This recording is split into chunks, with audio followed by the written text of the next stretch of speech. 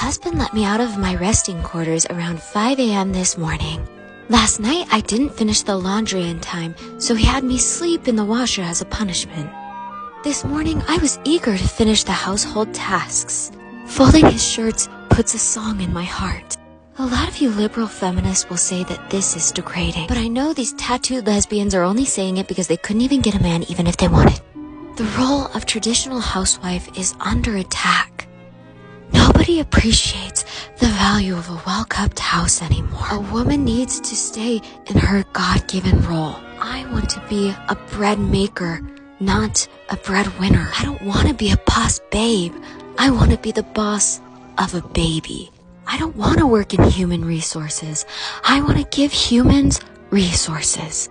Please share this video because we can't let the radical left win again. And if you're watching this being a hater, it's because you're weak minded.